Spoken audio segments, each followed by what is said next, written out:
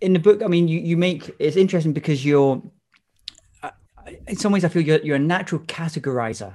You're very good at being able to like take us through in a very logical way. And that's obviously your, your teaching background as well. Um, but one of the things you say in the book is you can have expert, just having expertise doesn't necessarily make you an expert.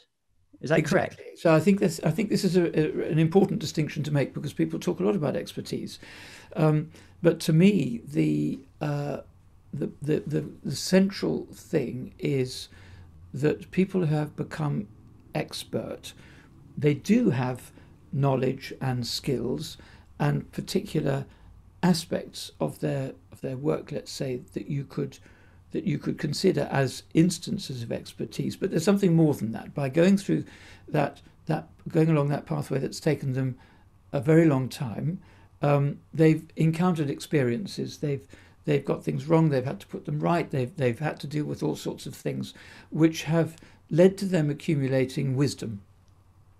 And I think it's this word wisdom that really, to me, uh, captures what what becoming expert is all about.